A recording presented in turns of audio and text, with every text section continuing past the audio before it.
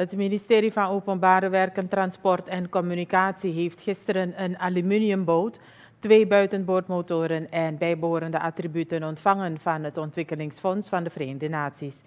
De equipment is bestemd voor de waterloopkundige dienst van het ministerie. De schenking heeft een waarde van 14.000 Amerikaanse dollars.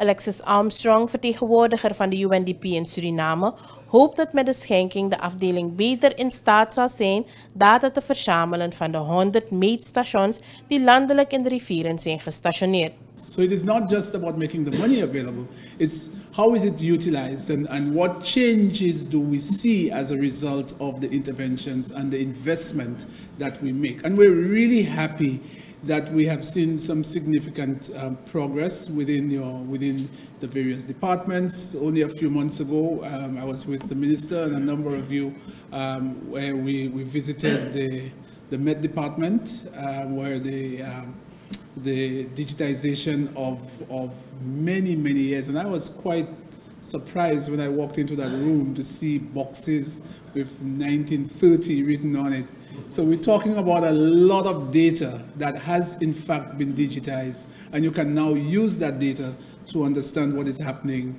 um, um, in the environment as it relates to climate change. Minister Patrick Pengel van OETNC zegt dat het belangrijk is dat er data verzameld wordt van de hoeveelheid water en waterbronnen die er aanwezig zijn. Dan weten wij hoe wij ons water moeten managen bij veranderende klimaatomstandigheden, zegt de bewindsman.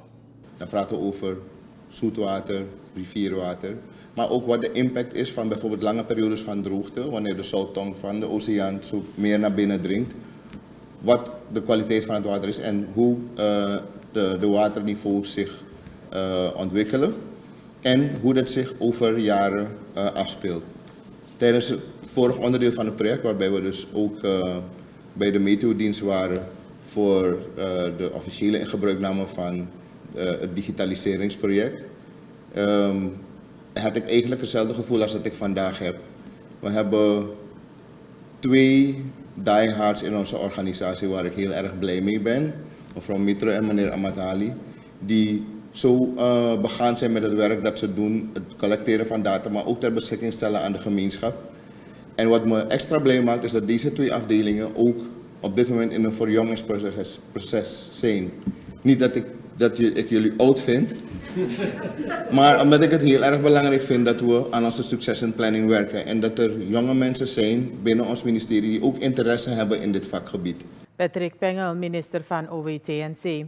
Het ontwikkelingsfonds van de VN heeft gisteren een aluminiumboot, twee buitenboordmotoren en bijbehorende attributen aan het ministerie geschonken.